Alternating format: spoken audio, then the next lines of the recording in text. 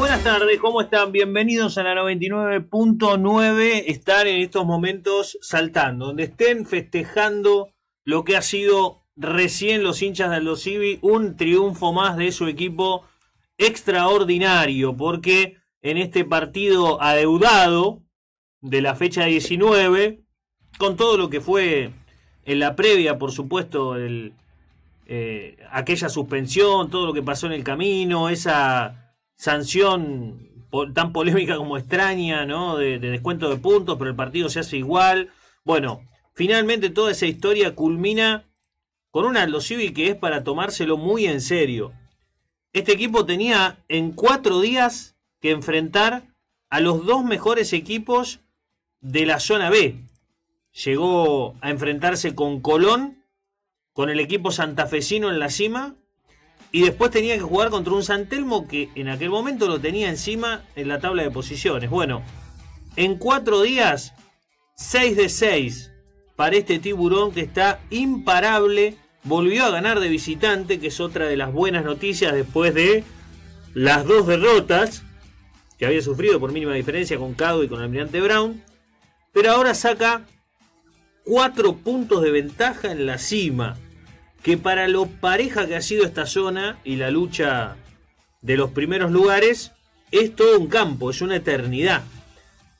No todo ha sido positivo, eh, por suerte el partido lo pudo abrir con un penal, un penal absurdo que le hicieron a la Méndola de gran partido, volvió con todo la Méndola. Eh, justamente ayer en la previa de este partido decíamos, bueno, no es el Méndola de principio de campeonato, bueno, hoy fue el Méndola de principio de campeonato, clave, eh, primero cometiéndole el penal, después haciendo una jugada bárbara para tirarle el centro a Lanzosa. Agustín Colazo que volvió al gol a través del penal en esta oportunidad para convertirse también en uno de los tres goleadores de la categoría, con Agustín Lavesi y con Bruno Nasta, Tristán Suárez y Racing de Córdoba respectivamente, todos con 11. Bueno, eh, después la muy buena jugada de Aldo Civi, bien tejida, bien construida, con desequilibrio individual en la méndola y con un centro para que de volea la tome eh, Alan Sosa, otra de las grandes figuras del tiburón en el partido de hoy, y eh, Aldo Civi se pusiera en ventaja 2 a 0.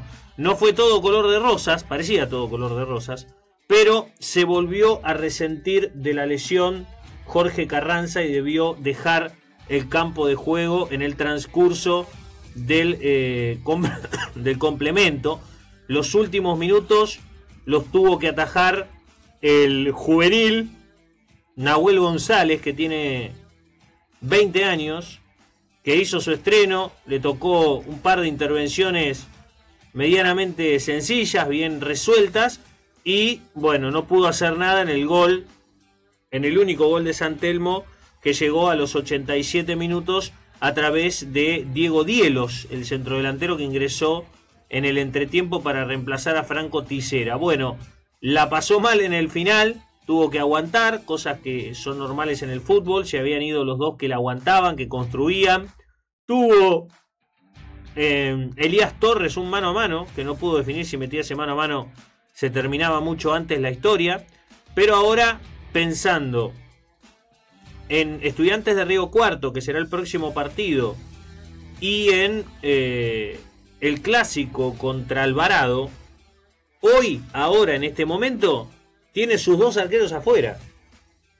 Vamos a ver cómo, cómo ha sido lo de Carranza y cómo está Tamañuk.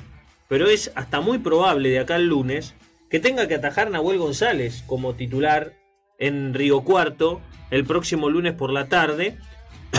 y todo, por supuesto, esperando también que pueda haber recuperación física de estos dos extenuantes partidos por la exigencia, por los nervios, por lo emotivo, por lo importante, era un desgaste muy distinto, tanto el partido contra Colón como esta gran victoria contra San Telmo, por eso es que salieron cuando faltaban 20 minutos todavía la Méndola y Sosa, pero un Aldo Civi para tomárselo muy en serio, porque cuando lo necesita también puede hacer uso del oficio, más allá de que tiene un plantel extremadamente joven cuando lo necesitó en el primer tiempo, estableció el dominio y manejó los tiempos del partido.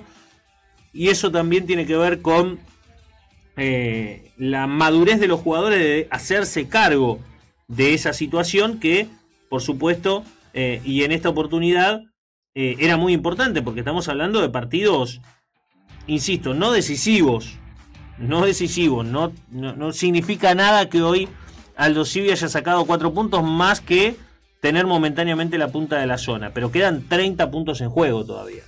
Es un montonazo y eh, lo bueno es que Colón no gana de visitante y lo bueno es que en los últimos cuatro partidos Antelmo de local no pudo ganar.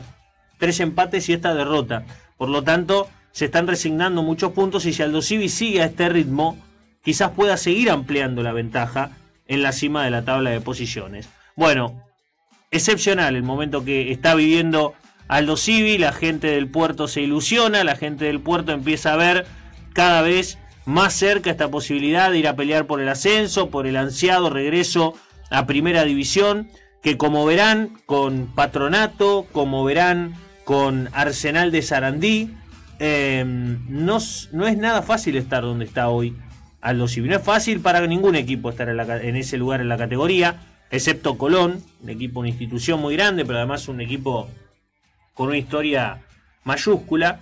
Pero hoy Aldo Civi está por encima del Zabalero, con todo lo que eso representa. Bueno, Aldo Civi está disfrutando un momento fantástico y hay que destacarlo y hay que ponerlo en el lugar que corresponde. Se repone también a las circunstancias que tiene que afrontar, porque este partido lo juega sin motes, vuelve Sils, que había tenido poco entrenamiento por su lesión, eh, y se va acomodando. A pesar de las bajas, a pesar de los problemas, se sigue acomodando. Ahora le surge otro problema mayúsculo que son las lesiones de los arqueros, ¿no? Que primero fue solo eh, Carranza, atajó a Tamañuc, después fue a Tamañuc y volvía justo Carranza, para mí, y evidentemente lo apresuraron un poco, quizás necesitaba un poco más de tiempo de recuperación, si no hoy quizás no tuviéramos este destino, pero bueno, imposible, ¿no? Contrafáctico en ese sentido, así que tendremos que ver cómo son los próximos días para el tiburón, el tiburón puntero del campeonato en la Primera Nacional. Pero hoy es un día fantástico, un día dorado, a pesar de que está nublado en la ciudad de Mar del Plata, porque el BMX Freestyle le ha dado a la Argentina, puntualmente José Torregil. Hoy todos somos el maligno, ¿viste? Ahora todos lo conocemos al maligno que hasta hace muy poquito decían maligno. ¿Quién es este muchacho? Bueno, hoy todos vamos maligno, porque claro, Argentina le va a costar horrores ganar medallas en este Juego Olímpico, le va a costar un montón. Y que la primera que agarre sea dorada es un montonazo. Después, ganando en un deporte, recordemos que hasta aquí los diplomas olímpicos, que fueron las siguientes mejores actuaciones de los argentinos después de esta medalla, han sido en el skate, en el tiro, Siempre a la Argentina, cuando hay un juego olímpico, un juego panamericano, las medallas o las buenas actuaciones se las dan los deportes que solemos llamar como poco convencionales, que vos abrís olé durante todo el año y no ves nada de todo eso, que vos abrís cualquier diario deportivo a nivel nacional y no ves nunca el nombre de José Torregil, no ves nunca el nombre de Matías del Olio. Y sin embargo, Después, cuando llegan las grandes citas, son aquellos que silenciosamente terminan recogiendo el fruto del trabajo que hicieron eh, en, las sombras, en las sombras del resto, porque ellos están bien expuestos y les vendría muy bien claramente poder estar mejor expuestos todo el tiempo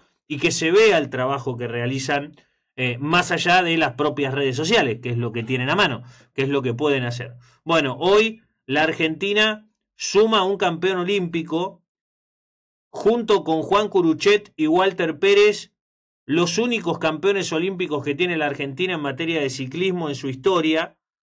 Para que tengamos una idea, Argentina en la historia de los Juegos Olímpicos ganó 22 medallas de oro solamente. Mirá que hace tiempo que se hacen los Juegos Olímpicos y que hace tiempo que Argentina trata de ser protagonista todo el tiempo. Bueno, solo 22 medallas de oro, solo 22 campeones olímpicos algunos deportes en equipo como el básquet, como el hockey, como el fútbol, algunos deportes individuales como Paula Pareto, como Sebastián Crismanich, como eh, el propio eh, Torregil o eh, en algunos casos hasta en duplas, como le tocó a, Walter Pérez y a Juan Curuchet. Pero son 22 a lo largo de la historia solamente. Lo que ha hecho la dimensión de, la tarea de José Torregil realmente es descomunal y, se ha metido en la historia importante del deporte argentino. Pocos se pueden dar el lujo de decir eh, soy un campeón olímpico. Y como bien resalta eh, a lo largo del tiempo eh, el propio Juan Curuchet, que en estos momentos están en una cena en el corazón de París para agasajar al campeón olímpico y a todos los olímpicos en ese sentido, como un cierre del BMX freestyle. Em, como siempre suele decir Juan Curuchet, la diferencia entre ser campeón olímpico y ser campeón del mundo es que después cuando te presentan si fuiste campeón del mundo, te dicen el ex campeón mundial. Eh, y cuando sos campeón olímpico, sos campeón olímpico para toda la vida, no, no sos ex campeón olímpico. Sos campeón olímpico. Condición perdura en el tiempo. Siempre vas a ser campeón olímpico. Y en ese sentido, eh, bueno, la, página mayúscula que ha escrito el, el argentino nos lleva también a tener, bueno, un motivo para festejar. Y encima ver la bandera argentina, escuchar el himno nacional argentino por primera vez, esperemos que no por última vez, pero que va a ser muy difícil porque se escucha el himno del primero nomás, no se escucha el himno de todo el podio, sino del campeón olímpico. Entonces, bueno, va a ser complicado, va a ser un juego olímpico complicado. Sin ir más lejos, como para poner un ejemplo, hoy Argentina se quedó sin tenistas en el torneo. O sea, no va a haber posibilidades desde el tenis, que venía muy difícil el cuadro, de poder sumar una medalla olímpica. Tan difícil es ser campeón olímpico que hoy se terminó el sueño de Alcaraz y Nadal, que parecía que venían arrasando, bueno, en cuartos de final se quedaron afuera, ni siquiera para luchar por un bronce, ni siquiera para tener Alcaraz Nadal en, en el podio, que sería ya un gran logro. Bueno, está difícil el juego olímpico para muchos, para todos. Coco en el día de ayer también, con sus lágrimas y con su eliminación. Hoy, lo que le pasó a la selección de fútbol femenino de Brasil, siempre decimos que la selección de fútbol femenino de Brasil, hoy por hoy, eh, y, desde hace un tiempo a esta parte, es candidata en todo lo que juegue. Y sin embargo, perdió con el campeón del mundo, perdió con España y eh, se queda fuera de la próxima fase. No está clasificado Brasil. Y eh, bueno, con el atenuante de las lágrimas de Marta, la mejor jugadora quizás de la historia del fútbol femenino, que metió un planchazo terrible, la echaron y se retiró del campo de juego entre lágrimas porque sabe que son sus últimos partidos olímpicos y con la selección y le toca vivir esta situación, ¿no? No, es de. no pegó un planchazo de, mala intención. Fue a buscar la pelota con el pie demasiado arriba. La jugadora española venía con la cabeza hacia abajo y bueno, le mete un planchazo terrible y fue, fue bien expulsada porque encima no tenía nada para discutir, pobre. Eh, el árbitro también en esa situación eh, complicada, porque decís, bueno, pucha, sabés lo que significa semejante jugador a su trayectoria y demás, pero bueno, hay que expulsarla. El reglamento es el reglamento y es muy claro, ¿no? Así que eh, con lo difícil que es ganar en estas condiciones una medalla de oro, Argentina se da el lujo de tener la primera, que lo ubica hoy 22 en el ranking del medallero, no, no aspiramos a ser dominadores del medallero, a pelear ningún puesto, pero la medalla de oro suma un montón para la Argentina en un contexto donde, bueno, hemos tenido hoy, por ejemplo, tempranito la eliminación de Damián Jajaravilla, otro de los marplatenses, tres de los cinco que han terminado su participación. Paradójicamente, primero le tocó a los tres varones, después le tocó a las dos mujeres, le tocará a las dos mujeres, ¿no? Ya Ulises Arabia con su participación en natación, Matías del Olio, que todavía está en París, disfrutando un poco de todo lo que está pasando allí, desconectado plenamente después del estrés de, todo lo que pasó eh, en esos Juegos Olímpicos, pero con un diploma. Y ahora Damián Jajaravilla, que para el organigrama oficial, para el clasificador final, terminó 33. Pero lo que pasó fue que, bueno, todos los que pierden en 32 avos de final, que son 16 deportistas, quedan en, el puesto número 33 todos. ¿eh? No, no, es que se arma un nuevo ranking, de acuerdo, no.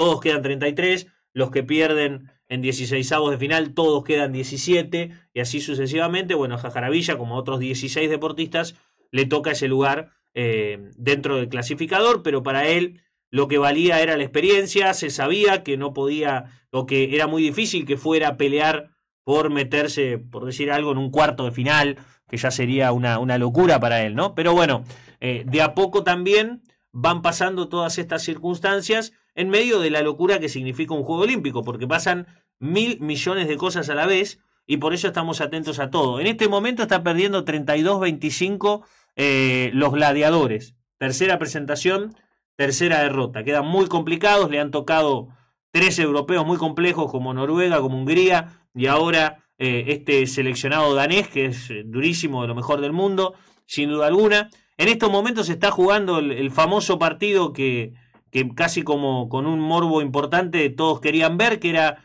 eh, el Dream Team de los Estados Unidos contra Sudán del Sur, este joven país que se presenta por primera vez en el básquet olímpico con todo lo que comentábamos ayer, que el entrenador marcaba de las carencias que tienen, de eh, la persona que se le ocurrió que ellos tenían que ser un equipo profesional y les está pagando una sola persona absolutamente todo a todo el seleccionado, desde las habitaciones, los vuelos, todo lo que tenían que hacer, eh, bueno, se las paga una sola persona y eh, la verdad es que cuando llega el momento de la verdad, porque en un amistoso no deja de ser eso, un amistoso, Estados Unidos está ganando 71 a 54, está ganando y bien en este caso. Hoy, eh, en, materia de, hockey, que también es otro de los datos singulares, en el Pool B, la selección argentina ganó, eh, las Leonas hablamos, en el hockey femenino, y ya se aseguró meterse en los cuartos de final, le ganó 2 a 1 a España, ya le había ganado 4 a 2 a Sudáfrica,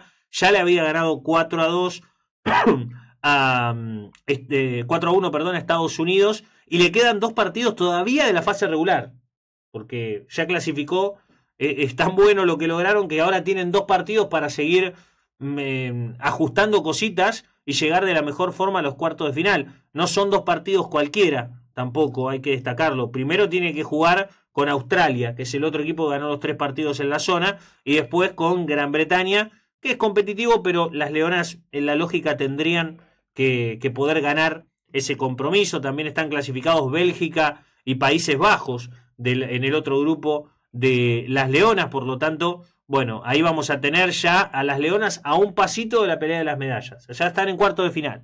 Después veremos contra quién les toca y si a partir de ahí pueden pelear por una medalla que el hockey femenino generalmente pelea por ese lugar de, privilegio de tener las medallas. Bueno, pasan muchas cosas. Todos los días alrededor de los Juegos Olímpicos pasan un montón de cosas y las estaremos eh, charlando aquí en el aire de la 99.9. Pero en materia de fútbol, más allá de la gran victoria de Aldo Civi, más allá de que el equipo está puntero y ha sacado cuatro unidades de diferencia, hoy tenemos Liga Profesional, los pendientes de la fecha 7, hoy tenemos Copa Argentina, tenemos básquetbol porque el mercado se sigue moviendo. Quilmes hace unos minutos anunció a Martín Herrero, el pivot que tenía Unión, se va con Ezequiel Santiago Medina a Quilmes. Se cruza ahí tres cuadras y va a ser jugador de Quilmes para la próxima temporada. También se va armando el equipo cervecero y va confirmando sus piezas de cara a la próxima temporada. Un relevo, uno imagina, para Berbagüe de Ecker, que por ahora serían los titulares en este, en este plantel, ¿no? En este equipo que se está conformando de a poquito. Eh, además, tuvimos la confirmación ya con la lista definitiva de que va a haber tres marplatenses en los Juegos Paralímpicos. El 28 de agosto empieza la gesta de los Juegos Paralímpicos y vamos a tener tres representantes más de Mar del Plata. Eh, vamos a hablar del regreso de Mauro Celayeta a la Liga de Voley Argentina jugando con Ciudad de Buenos Aires. Eh, bueno, tenemos algunas cositas del tenis internacional también para, para ir agregando. Eh, tenemos actividad de taekwondo. Se confirmó que seis marplatenses van a competir en el campeonato panamericano representando a la Argentina dentro de la selección nacional. Seis marplatenses. ¿Dónde es este torneo? Es en unos días en Venezuela.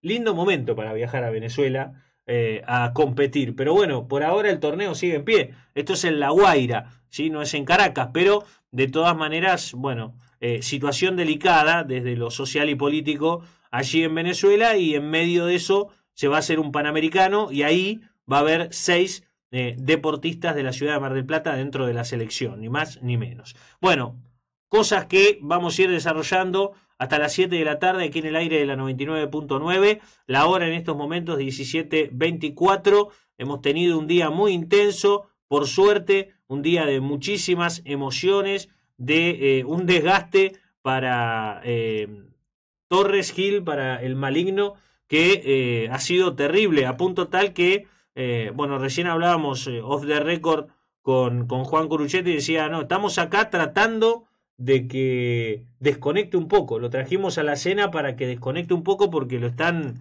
quemando, ¿no? Te queman vivo en ese sentido, imagínate. Te queman cuando llegas a una final, si salís campeón, sos campeón olímpico, lo van a volver loco por estas horas, literalmente, a el argentino, al nuevo campeón olímpico que tiene nuestro país. Nos vamos a la pausa, 17.24 la hora en estos momentos en la ciudad de Mar del Plata. Luego de la pausa nos vamos a meter con todo el desarrollo informativo. Hay un montón hasta las 7 de la tarde. Ya venimos. Marca Deportiva Radio. Los primeros de la tarde.